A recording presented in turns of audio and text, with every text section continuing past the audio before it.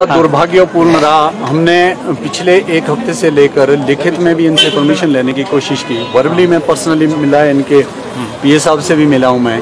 लेकिन आज हमने कोशिश की थी कि सभी जिलों से जितना भी हमारा कार्यकारिणी है और इसके अलावा जितना भी हमारा जो अपना कर्मचारी वर्ग है, एक बड़े डिसिप्लिन मोड में हम आए कि इनसे अपनी बात को रखें। लेकिन ये आपके सामना सारा इंसिडेंस हुआ। सीएम साहब आए कि अब तो आँखें खोलो सरकार।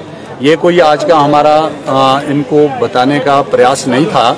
ये पिछले 24 सालों से हमने यही स्लोगन हमने इनको बताया था सरकार को कि अब तो आँखें खोलो सरकार इसके पीछे मंशा क्या है? ये जानने का ना प्रयास पहले की सरकार ने किया वर्तमान सरकार ने थोड़ी सी कोशिश भी की लेकिन कॉन्क्लूजन जिस बात पर बन के निकला था एक ड्राफ्ट जो यहाँ सबमिट हुआ वो 23 जून को ड्राफ्ट सबमिट होने के बावजूद भी आज 10 अगस्त हो गई। डेढ़ महीने में वो मात्र फाइनेंस डिपार्टमेंट या हमारा प्रिंसिपल सेक्रेटरी हेल्थ के डिपार्टमेंट में ही चक्कर खाता गया।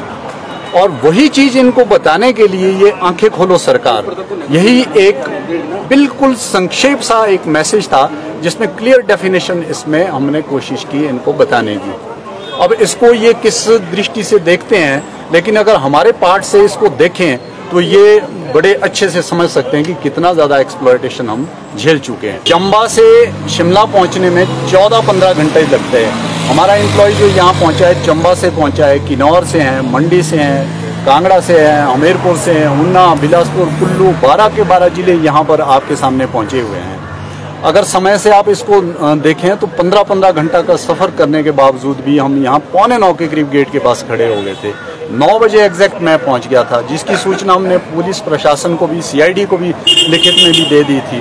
बावजूद इसके भी हमारी अनदेखी मिलने के लिए की जा रही है। अगर इस तरह का रवैया सरकार का है तो हम भी अगर अनदेखी अपने सर्विस रिगार्डिंग करना शुरू कर दें, कि पेशेंट को देखना छोड़ दें कोविड पीरियड है, वहाँ हम अपनी सर्विसेज़ ना दें तो ये सरकार समझ सकती है कि कितना ज़्यादा लॉस होगा। भूषण ज्वेलर्स, अनमोल रिश्तों के लिए।